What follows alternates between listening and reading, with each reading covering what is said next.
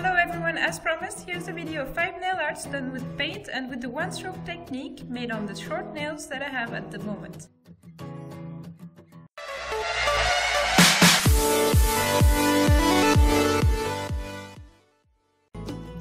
Let's start with the easiest nail art.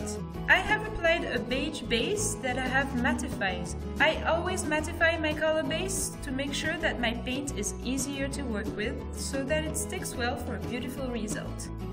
I have soaked my brush in blue and green paint to make some semicircles by turning the brush and crushing it slightly to make the circle a shape.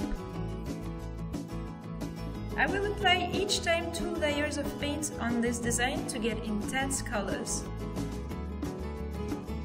When you apply two layers, you have to allow the first one to dry. If you spill over, as I have done here, take a new brush and you can simply clean with some water. But do it right away, don't wait for a few minutes. Then we will add 3 to 4 dots to design the corset depending on the length of your nails. It will be black dots for my nails. When they are dry, I add small white dots inside without overflowing with the detail brush, I will link the dots to make a lace. Link the first ones together, then cross them. Then I chose to make undone laces, but you can tie them if you want or simply make a knot to make it even prettier. Then I add some light with a double lacing with white color. So I add white lines next to the black ones to bring out the lace.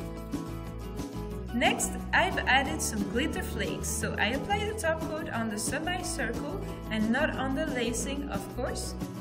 I apply a mixed glitter flakes of the same color.